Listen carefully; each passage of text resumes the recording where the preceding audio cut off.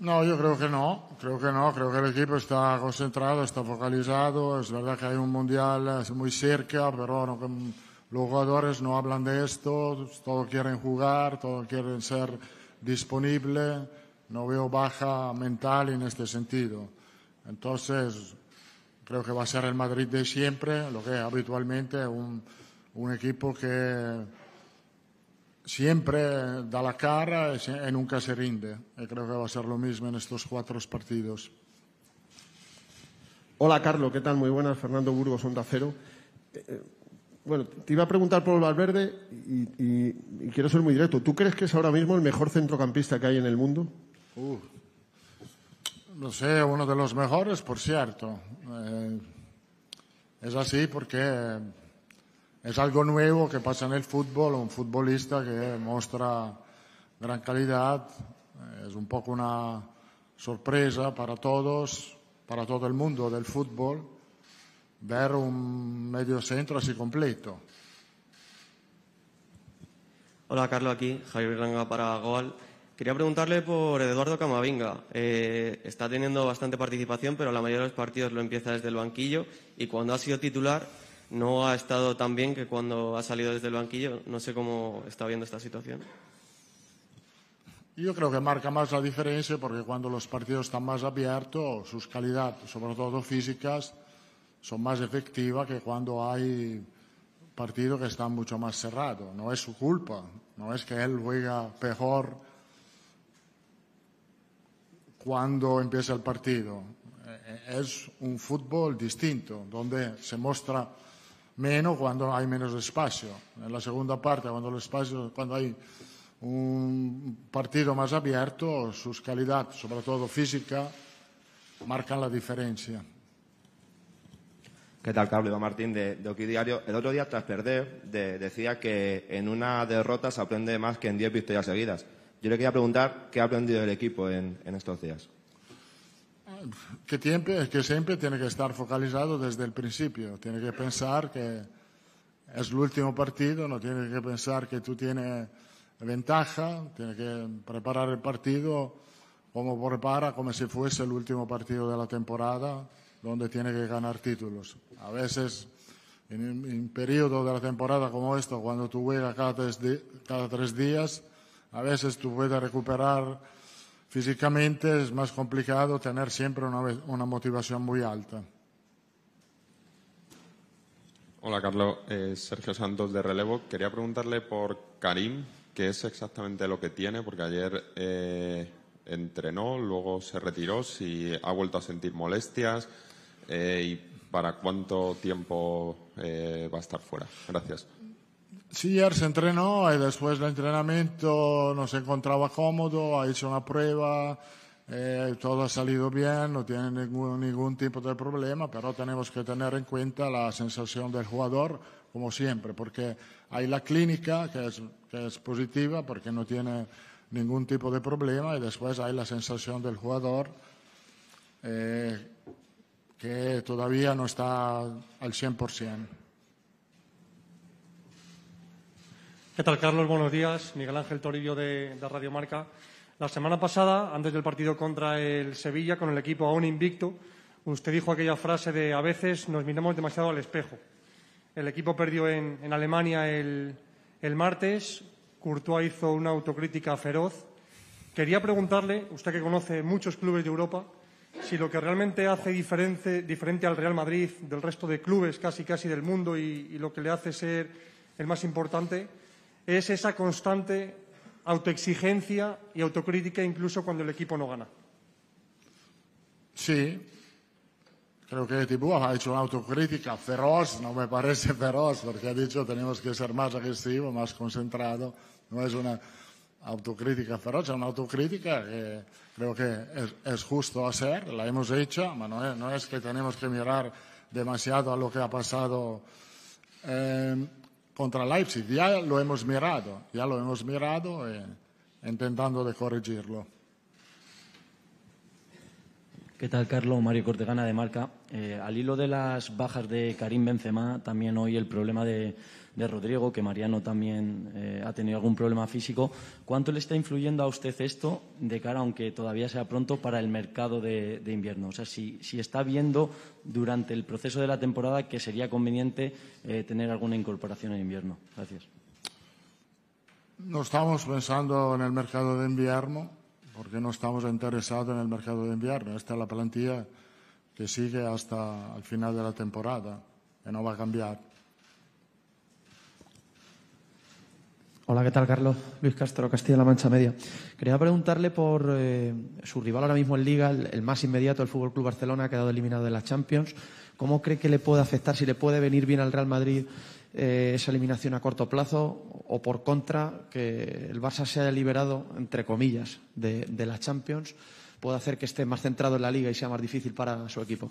Gracias. No sé, yo no tengo idea si lo va a afectar, si no lo va a afectar. Lo que tengo muy claro que el Barcelona va a ser el rival hasta el final para ganar la, la Liga Española. Esto lo tengo muy claro.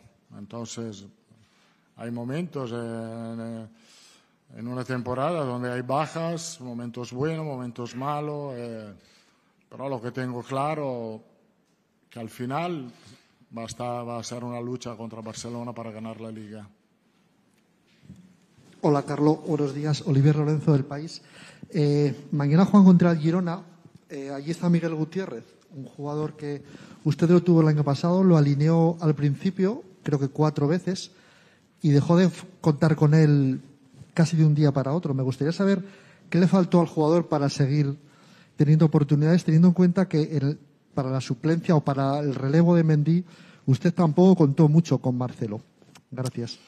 Lo que pasó con Miguel, que empezó la temporada porque hemos tenido la baja de Mendy, que en los primeros partidos Mendy no estaba disponible, también la baja de Marcelo. En este, por esto se ha incorporado con, con el primer equipo, lo ha hecho bien es, un jugador como otros que estamos evaluando para el futuro. No ha, no, no ha sido mm, no ha sido mm, cedido. lo hemos cedido a una parte, ¿no? su contrato es bastante claro. Si, si lo hace bien, él puede volver. El jugador que todavía tiene una evaluación por parte nuestra. Buenos días, eh, Carlos. Antoine Simono para el equipo. Eh, quería insistir sobre Eduardo Camavinga, que, parece que le cuesta eh, aprovechar sus titularidades. el otro día me habías dicho que cuando empieza hay un problema todavía táctico porque es joven de posicionamiento.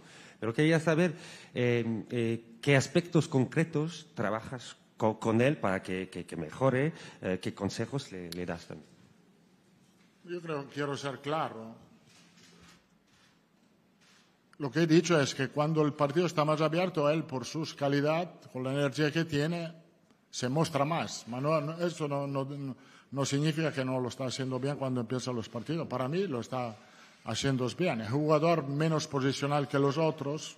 Si tengo que compararlo con Cross, él tiene que disfrutar de su característica para moverse en el campo más que Tony Cross. Evidentemente no tiene la lectura que tiene Tony Cross, estos son características individuales. nosotros estamos muy, muy contentos de Camavinga.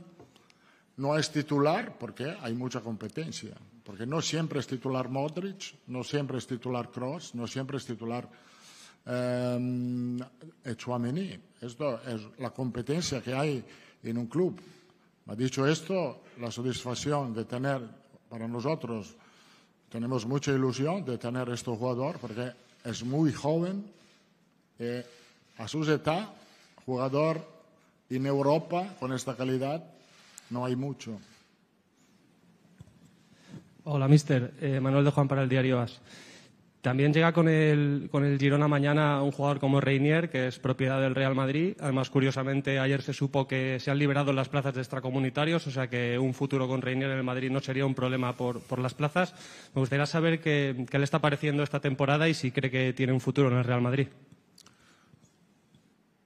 Reiner tiene calidad para, ha hecho la pretemporada con nosotros, para mí es un mediocampista que tiene calidad porque es un box to box. Eh, hasta ahora yo creo que no ha sido capaz de mostrar su mejor nivel, pero hay jugadores que son capaces de mostrarlo antes para una cuestión de carácter otros un poco más después.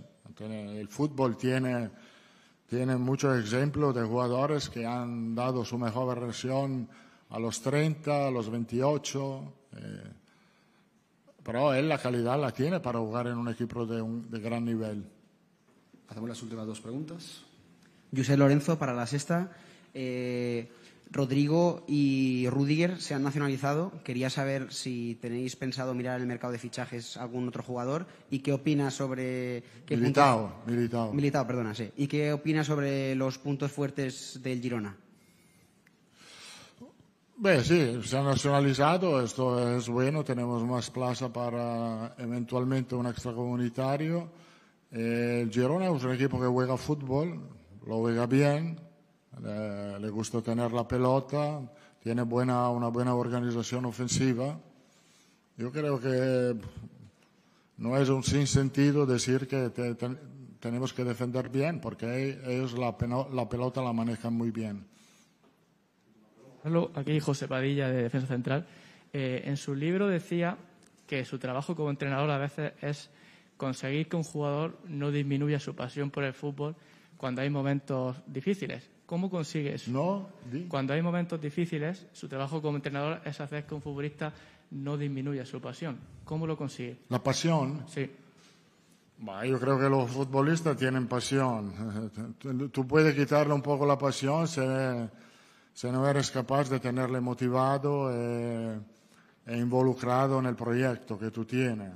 Esto, pero es la pasión de todos nosotros el fútbol, no es un trabajo. Yo no creo que lo es para mí. Para mí, por cierto, no es para los jugadores, también para vosotros. Yo creo que hablar de fútbol os gusta. Muchas gracias.